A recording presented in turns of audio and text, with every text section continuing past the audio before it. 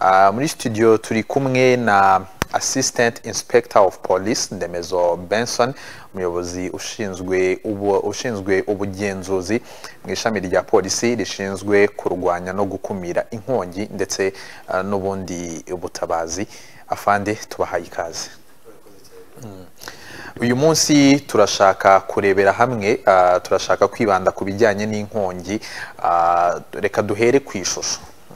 Bimeze gute imibare imeze gute ikibazo cy'inkongi ni ikibazo koko giharika cya- cyangwa ni ikibazo kinini kuri uyu munsi?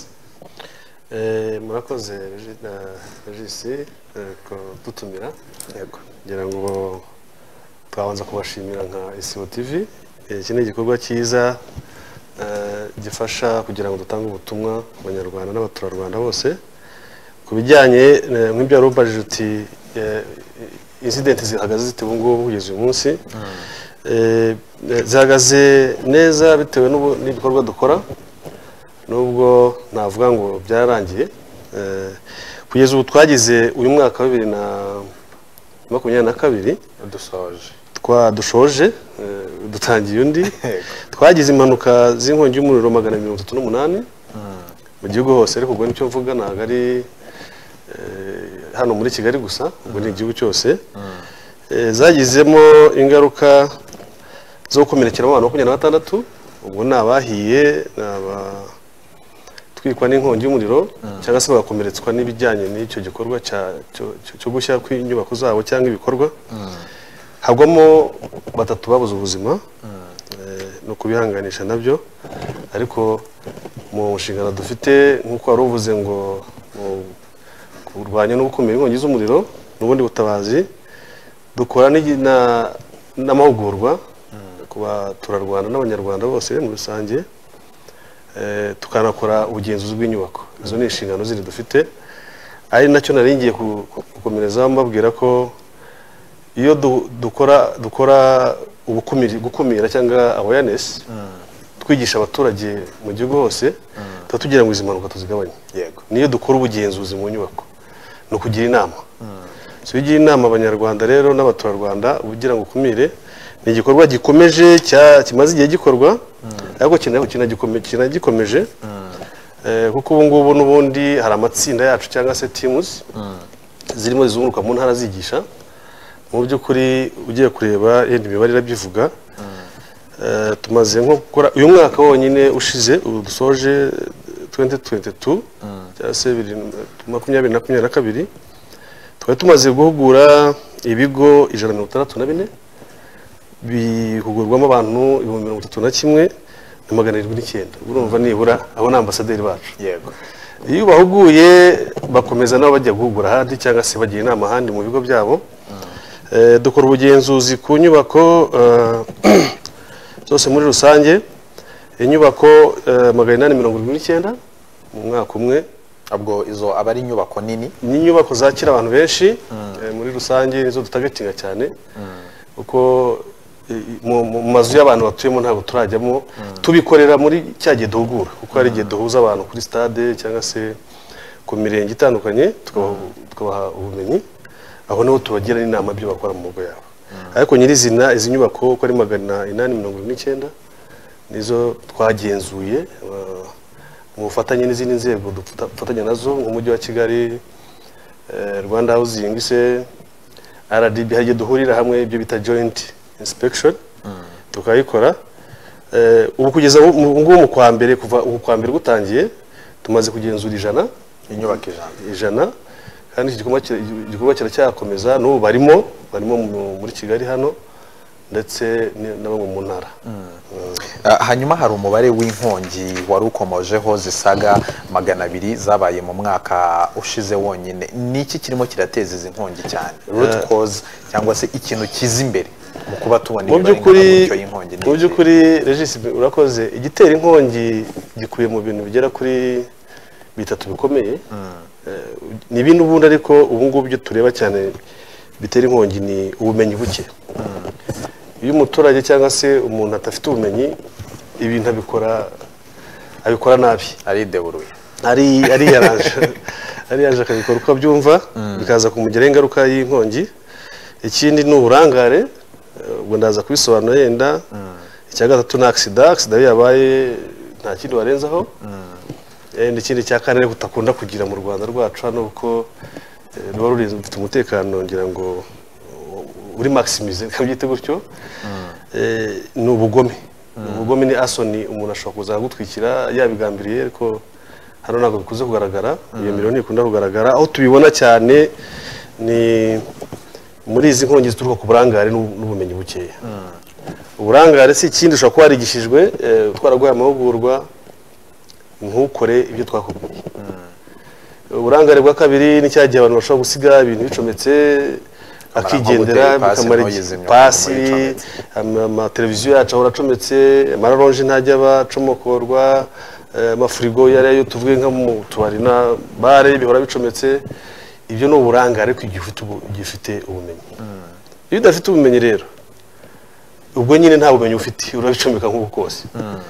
Ikindi gituruka kuri izo mpanuka ni igihe umuntu adafite ubumenyi akaba ya- nk'iyi nyubako yanyu ntabwo mu by'ukuri yubakiwe uburyo bwa studio. Ariko ibyo bita change of use. Change of use ni uguhindura igikorwa cya- cyateganyijwe gukorerwa mu, nyubako. Ugashyiramo igikorwa cya studio ubwo road cyangwa se eh, amashanyarazi. Abaye menshi kurusha uko yari yarateganyijwe mbere. Yego. Muri ubwo bumenyi bukeya rero bubaho kubera ko consumption cyangwa se iby'umuriro umuriro uba mwinshi uturuka ahantu hato. Ni ukuvuga ngo ibintu bikenera umuriro mwinshi uca mu matsinga matoya. Yego. Urumva iyo rodi yabaye ndende. Si uko bigenda biba bigera bigashyuha byamara gushyuha ukabona biratse. Ibyo ni ku bumenyi bukeya. Eh, ubundi bumenyi bukeya ni igihe ubona umuntu abantu bubaka kubakisha abantu badafite seritifika batabihuguriwe uzanye umuntu gusa nuko ari umuntu wa makeya vayo vayo vayo nguha akazi unyesitarira inzu yatangira kwesitara akabyesitara nabi ngira hari gapfa kubona byaka gusa. abona apfa kubona byatsi. Insinga ntizingana fizibure ntabwo zi- zi- zi- ziri poro- ziporotekitinga inzu yawe ziri zishobora kuba ziri hayi ku buryo iyo fizibure yari nini haza umuriro mutoya ucamo direct ugakomeza ku buryo bugutwikira igihe wiyongereye ubwo niko urugero rw'amafizibure kubyesitara nabi ni ikindi kindi. Ibyo bita shema elegitike ngira ngo sinzi niba warabyizeho iyo wayikoze nabi kamemu ikugiraho ingaruka. Yego.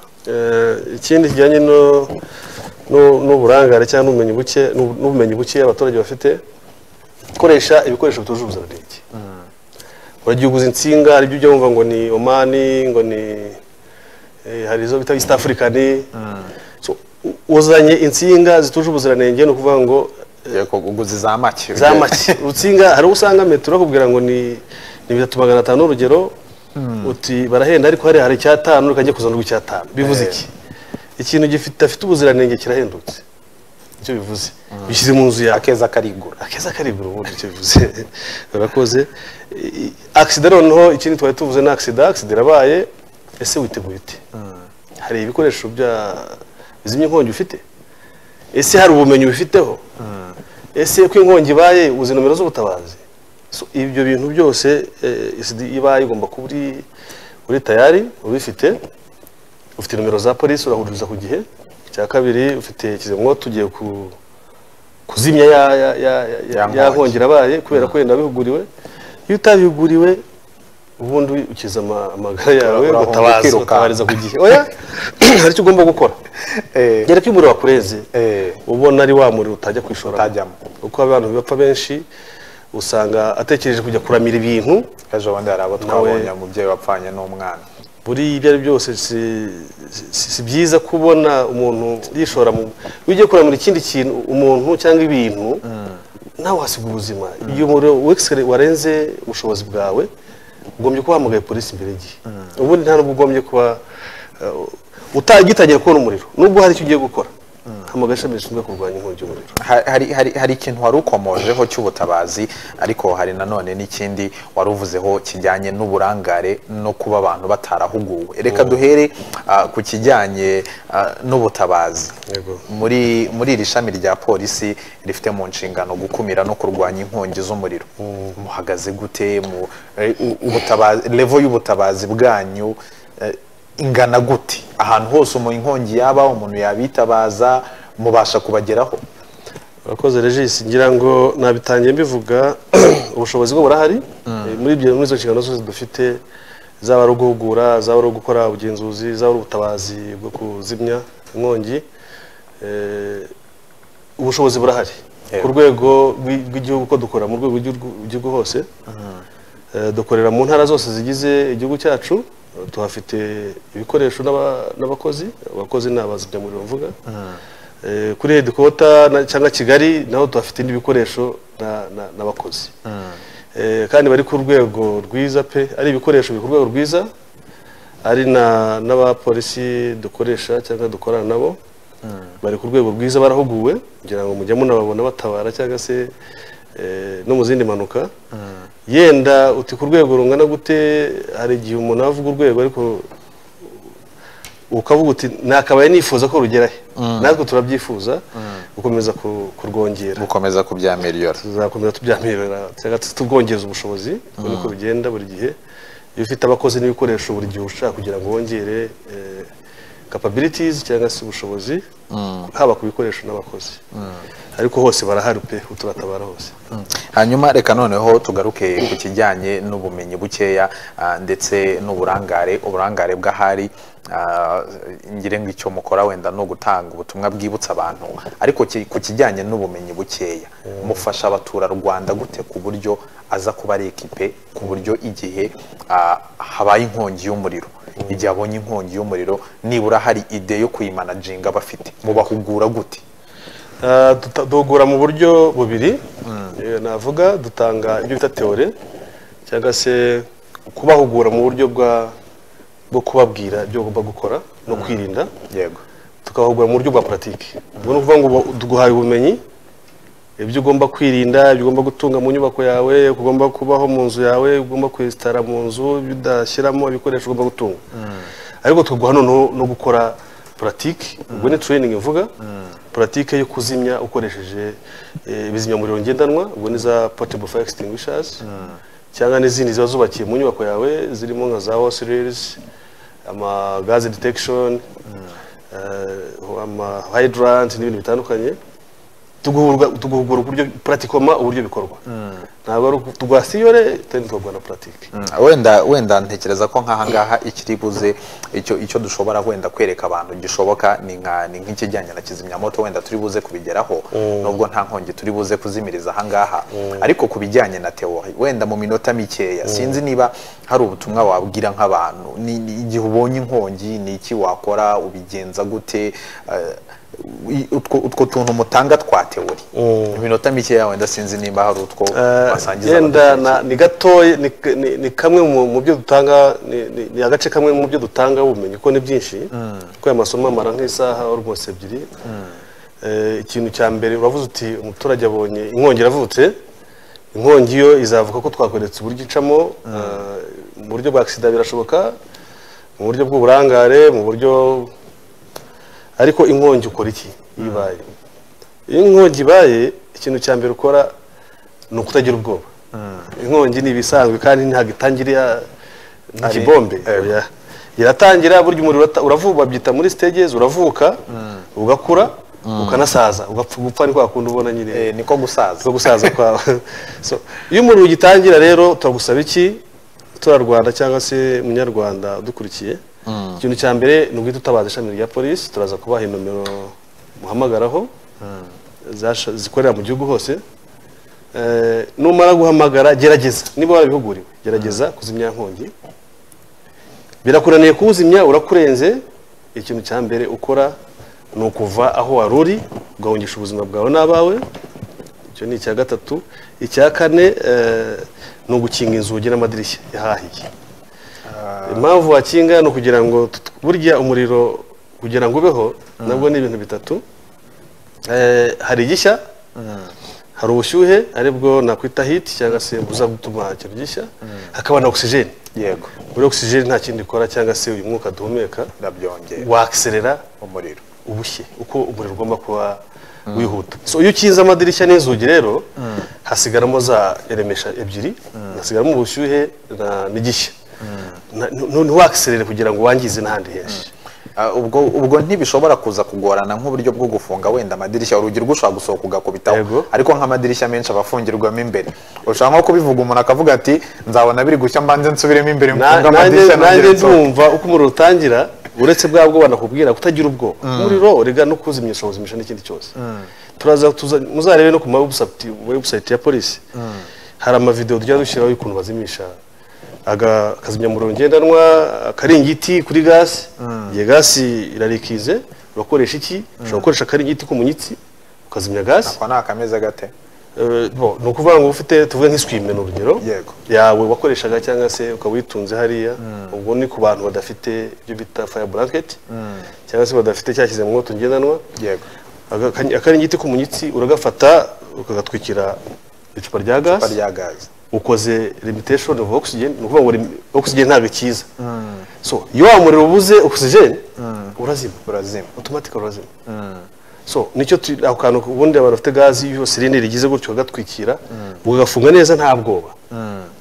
Urazima. Iyo uta- iyo utagafite cyangwa se waritembe watembera ufite ka kandi kitwa fire blanket ni akaniroko nako uragafata ugakora mu kantu kako ugahita upfunikira rya cupa rya buri ukazima cyangwa se ugafata icupa rya fire extinguisher urifite ugafungura ugapurisa buriya upurije si ukuvuga ngo ni shimi. No ntabwo ari iriya porudo ari shimi ahubwo ni uburyo ki iba yapurike igiye ahantu hashyaga yego cya kintu cyashyaga ugiye kugipfuka na pudire ni urugero tuziho pudire irasohotse ni ukuvuga ngo oxygen irabuze. Umuriro automatique urabura nushaka uzabigerageza uzafashe buje yawe buje uyitereka hariya uzane ikirahure kirekire udakozeho utwikireho ya buje izazima ni siyansi ni ibintu biri biri siyantifi ibyo ibyo ibyo ngibyo ni ibyo umuntu wenda agomba gukora igihe inkongi ibaye. Ah, wenda nkamwe muba mwarabitojwe ushobora kubibwira umuntu akumva ni ibintu nawe ushobora kubivuga ukumva koko ni ibintu byoroshye kuko mwa- mwarahuguwe hari amasomo mwakoze ajyanye n'ibyo ngibyo kongeraho n'akantu ko kuba muri force mumenya nta bwoba muba mugira ahari. iyo iyo mubibwira abantu. Muba muba mwumva nta gihe nk'umuntu ashobora kubyitiranya. Akavuga ati baratubwiye ngo inkongi ushobora kugenda ugafata akantu karamba. Aho ngaho ugashyira ni he? Tuvuge niba hano wenda nka hano imbere hari ibintu birimo ni birashya ukuvuga ngo tuvuge nk'iyi ajenda yanjye irimo irashya. Yego. Sibyo? Niba yafashwe itangiye ntoya nababwiye ko umuriro uvuka uravutse ni urugero. Kandi rugomba no gukura. So icyo nkora ni iki? Nzana ya swime yanjye y'umunyitsi. Impamvu ari umunyitsi ni ukugira ngo eh, ibyo igiye gukora kontakiti na byo bibe bi- bitayotsa ako kanya. Ubwo ni gaze na sirinda cyangwa se sirindire ya gaze urakazana gutya kari imbere yawe. Ugahita ugasa n'ugiye kugakikiza icupa. Warangiza ugahuza ntuza yose ukahita ugira gutya ugafunga. Ni ukuvuga ngo iyi ni iswime ngize ntya mfashe imitwe yombi ndahindukije. Ndafunze ubu ni ukuvuga icupa ripfutse na na ya n'aka karingiti oxygen buza hica Yego. umuriro tuzima ako kanya ntabwo wagutwika kamemo twese ko tu- turi abanyarwanda twatwitse imbagara kandi twaba tuzegereye. Niba tutaratwitse imbagara yenda simbizi eh, cyangwa se hari n'ibindi yatwitse.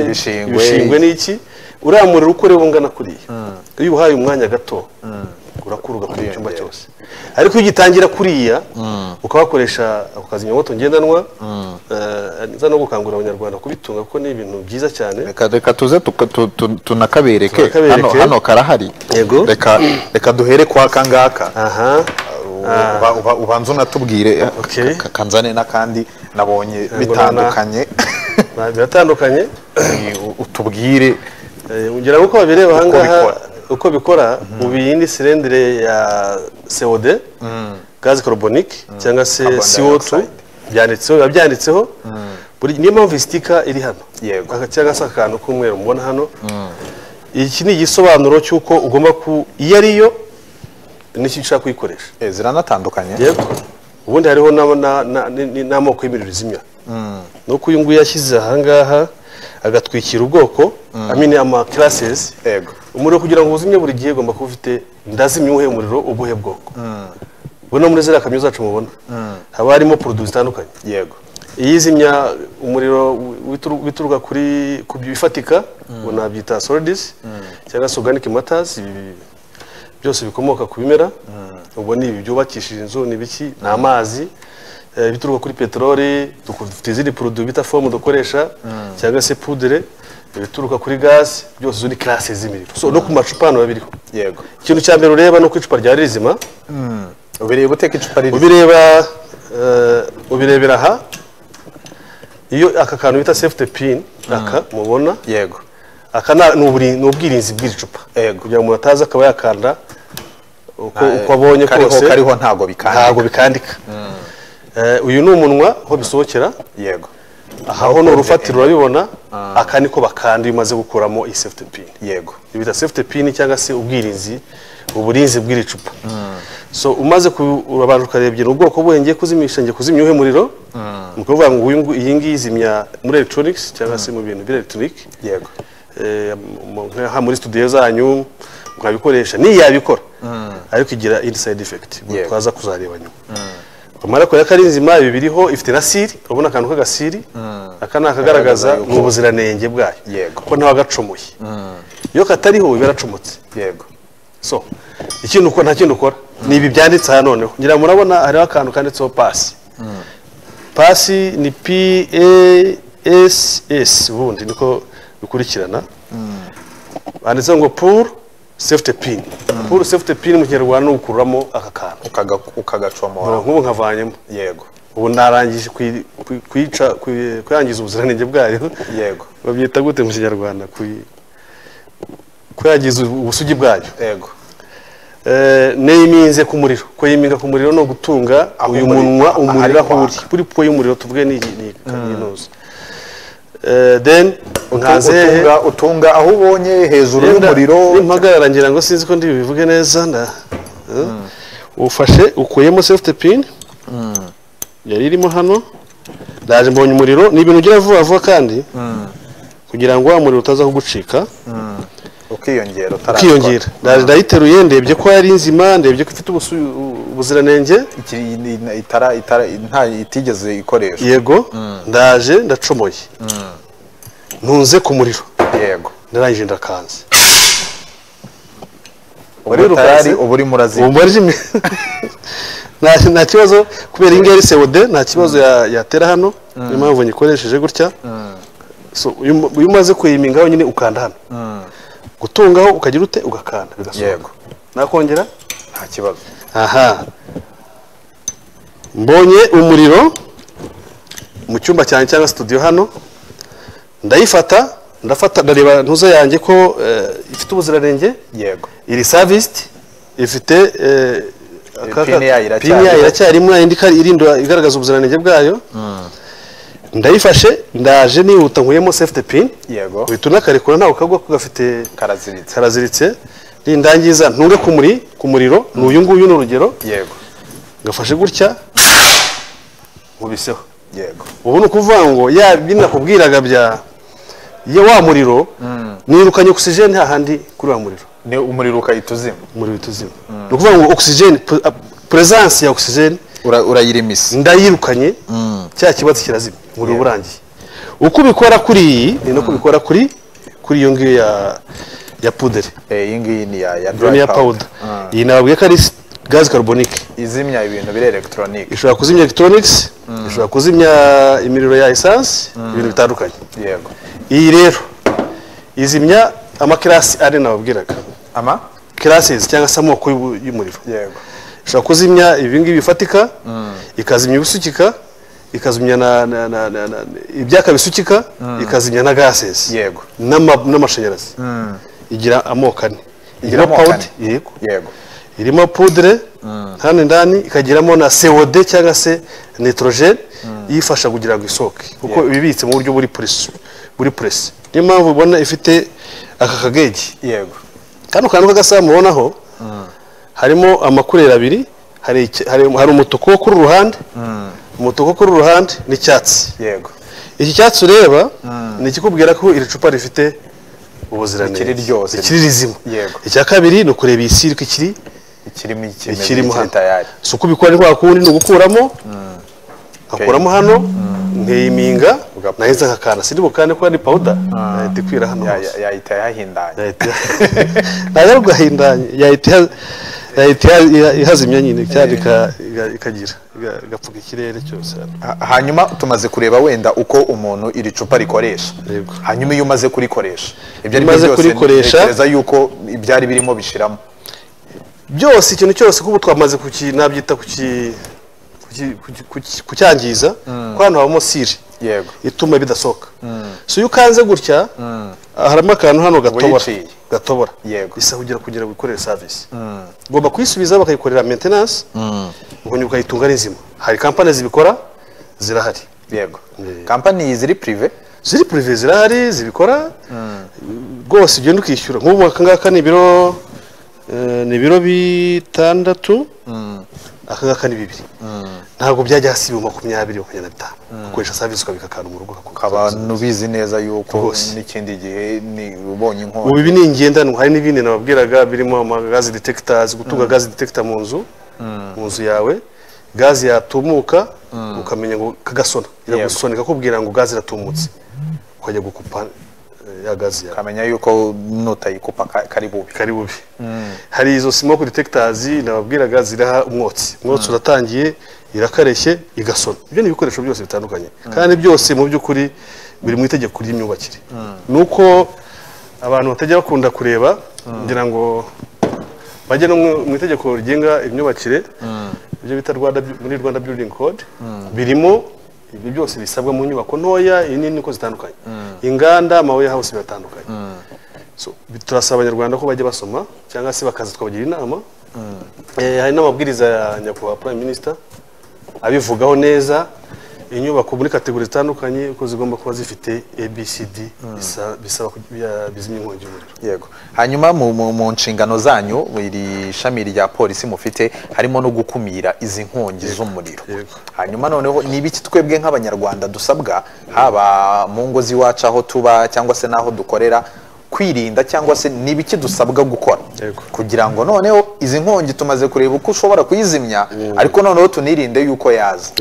Kuko buriya kwirinda biruta kwivuza. Biruta kwivuza. Bakoze eh, na- nasaba mu by'ukuri abanyarwanda gutunga ibizimyamuriro ngendanwa byose. Ari ibintu nababwiraga bya pudere ari ibyo bya gaze carbonique cyangwa se bya COD by'umwuka. eh, n'ibindi byubakwa mu nyubako ubundi na- n'ubwirinzi ibireha eh, ibizimya byo wakoresha mu bwoko bw'ibiro nakubwiraga eh, ukabitunga. Icya kabiri ni ukwirinda gukora gukora ikintu icyo ari cyo cyose cya- cyaturuka inkongi y'umuriro muri bwa burangare twavugaga gusiga ipatsi icometse televiziyo ukajya uzimya gusa na telekomande burya iba ifite umuriro. Eh, guhindura inyubako yakorerwagamo ikintu ntujye guhindura amashanyarazi ngo urebe ibyo ni ibintu ugomba kwirindwa. Kwandarika ibibiriti kugira ngo abana batabikoresha. Eh, kwirinda gusiga gasi idafunze eh, idafunze amavane. Kugenzura imi- imigozi ya vane izana ya gasi izana gasi sirinda kuyishyiga kumenya ngo maze guteka ndajimije nzimije gasi yanjye. Ibyo ni ibintu byangombwa cyane mugomba gushyira mu mu- nshingano za buri munsi kugenzura ibyo byose ya gasi irinda n'amashyiga mbere yo gucana. Mbere yo kugira ngo uteke. Ukareba ese umupira wanjye ni muzima? Ese nta mukozi wiba- wibagiwe gufunga kudafunga vane ese ibibiriti yasize bi- bicometse? Kutararana noneho na gasi sirindazi buriya gasi sirindazi ziri mu moko atandukanye hari za zindi ziri zi- zivana ku ishyiga zitwara I mean, kuri sirendere zitwara ku Zijyana ku ishyiga hari n'izindi zimeze nk'ishyiga Eh, muzabibona ngira ngo aha ngira ngo bashyizeho akantu. Urabona ko bakoresha ikiringiti ka kariswime nakubwiraga ndi kuriya. Buriya arabirangije arajimije kandi umuriro wabona ko wamaze kwaka. Yego. Ngira ngo uyu muvandimwe yari ayifite yaradufashije arakoze cyane. Eh, urabona buriya arakura. N'amasegonda ategereza yakora umuriro ukaba urazima ntakoresheje kizimwoto akoresha ikiringiti. Cy'umunyitsi nari nababwiraga urabona ukuntu ungana. Buri utegereje iminota itari hasi y'itatu ine uba umaze gukwira icyumba cyose. Byaba byageze ahantu hose. Cyangwa se ugakoresha umupfundikizo nk'uko agiye kubikora umupfundikizo w'isafuriya urumaho. Iyo ntuwushyiraho gutya nk'uko abikwereka aho gucisha ku ruhande. Eh, ukawinjizaho. Iyo ukwinjizaho gutya niko upfuka ogisijeni yego. We nta kindi akoze. Abujije kontakiti y'umuriro wakaga n'icyakaga na ogisijeni ni no gusepara. Gutandukanye. Ni tekinike urazimya Ntush- ni- ni- birabujijwe gukoresha amazi. Urabona Nicyo- umuriro wa gazi. ni cyo nari ngiye gukurikizaho urabona iyo ukoresha amazi urakiserera urenyegeza Eh, kuko harimo oxygen. Harimo oxygene noneho na flammabilité ari byo bita range of flammabilité ntabwo bingana range of flammabilité nabyita nka ko akoresheje ka CO2 yego. Eh, range of flammabilité navuga uburyo ki umuriro wakisera amazi n'ibyaka bisukika ntabwo byivanga ubundi kenshi. Si iyo bivanze birakiserera cya mbere ita y'amazi aba akonje eh, biriya bifite high high range of flammability ni ukuvuga ngo uburyo byakamo byihuse. So hari ibyo bita kutavanga ni byo byivanga. Niyo mpamvu ya moko nababwiraga y'imiriro abaho. Koresha iriya mupfundikizo koresha eh, ikiringiti koresha se COD koresha se poudre ariko ntushyiremo amazi. Kuko yagutera impanuka. Maze arabyongera. Arabyongera. Ni kimwe n'amashanyarazi cyangwa se utafata amazi ngo uyashyire mu mashanyarazi. Yagutwika hanyuma iminota irimo iradushirana. Reka dukurikizeho uburyo umuntu ashaka ubutabazi bwa polisi mu gihe cy'inkongi ashobora kububona. Eh, hari ubutabazi nari mbabwiye ngira ngo uko mwadutabaza ibyo byose nari nabibabwiyeho yuko mwatabaza mbere y'igihe umuriro ukibona umuriro mbere yo kugira icyo ukora cyose ugomba gutabaza polisi y'igihugu. Yego. Ngira ngo mu muri kigali naba nk'inomero zitari hasi hari wani wani wani cyangwa rimwe rimwe eshatu. Ubwo ni ni, ni sa, onze ijana na cumi na rimwe. Hakaba zeru karindwi umunani umunani mirongo itatu na rimwe cumi na rimwe makumyabiri. Iyo ni nomero y'umuyobozi w'umutwe. Iyo iyo ngiyo yisubiremo kuko ni imibare myinshi. Eh, zeru karindwi umunani umunani. Mirongo itatu na rimwe. Cumi na rimwe makumyabiri. Yego. Iyo ni umuyobozi w'umutwe. Hakabaho indi nanone wahamagara igihe yenda yaba ari nko mu nama se cyangwa se n'ahandi na yo yahita igutabara diregiti ni zeru karindwi umunani umunani mirongo itatu na rimwe cumi na kabiri makumyabiri na kane.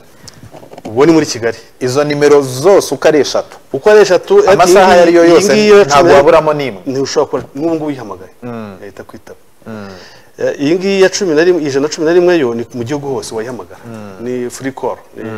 Ni To- toll free toll number. free call Eh, so tugenda mu eastern cyangwa se mu burengerazuba mu burasirazuba. Hari zeru karindwi umunani umunani ubwo ni abapolisi bacu bakorerayo. Mirongo itatu na rimwe icumi makumyabiri na gatanu. Aho ni mu burasirazuba. Burasirazuba. Mirongo itatu na rimwe icumi makumyabiri na gatanu. hakaba na zeru karindwi umunani umunani mirongo itatu n'umunani zeru gatandatu cumi na gatanu ya rusumo kuri boda ubwo hari rwamagana. Ya mbere tugiye mu burengerazuba. Hari zeru karindwi umunani umunani mirongo itatu na rimwe icumi makumyabiri na gatatu ku bari rubavu. Yego. Mu mujyi wa rubavu cyangwa se hagati ya rubavu na, musanze. Hakaba na zeru karindwi muri nosani cyangwa mu majyaruguru. Zeru karindwi umunani umunani mirongo itatu na rimwe icumi makumyabiri na kane. Musanze umujyi wa musanze. Uhamagaye uri musanze bahita bagutabara cyangwa se muri ziriya nce zegeranye na musanze. Mu majyepfo hari zeru karindwi umunani umunani mirongo itatu na mirongo itatu na rimwe cumi na kane mirongo ine n'icyenda.